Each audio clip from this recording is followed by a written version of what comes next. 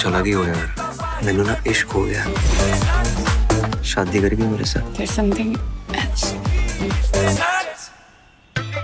यार ऐसे कैसे फिर सेक्स हुआ और पता भी ना चला? सेक्स सही था यार। नॉर्मल से भी। किया कहाँ से आपने? पागल है तू। जहाँ से सब करते हैं वहाँ से किया मैंने। चले वर्जिन ही मरोगे दोनों।